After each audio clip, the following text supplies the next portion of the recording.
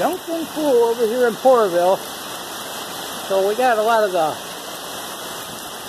iron moved out back and got a bunch of electric motors out there.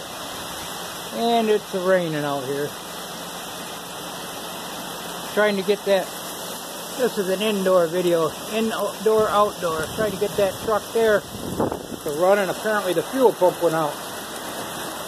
So yeah, trying to get a little stuff done and rain felt pretty good. Bouncing on my camera. Rainy days and Mondays always get me down. Anyway, on a positive note, we probably don't need to water the garden today. So,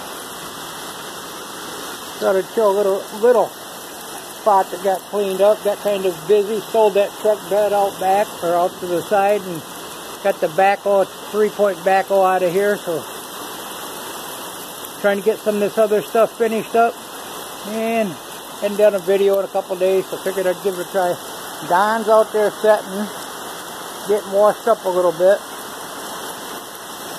So yeah, we're getting ready for this big, big uh, yard sale three weeks or so.